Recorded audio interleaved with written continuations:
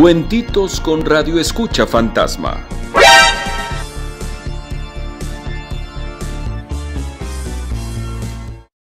Este siguiente cuentito se llama La cucaracha comelona.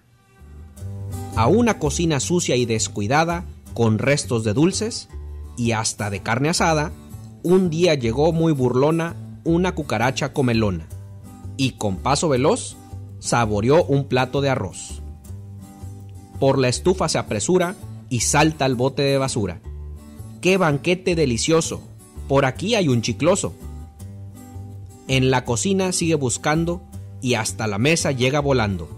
Y se encuentra un piloncillo y un sabroso jamoncillo.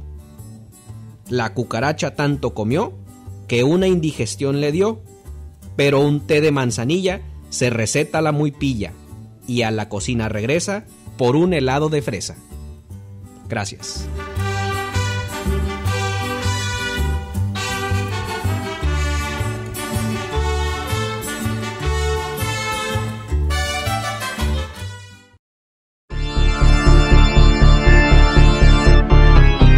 Cuentitos con Radio Escucha Fantasma.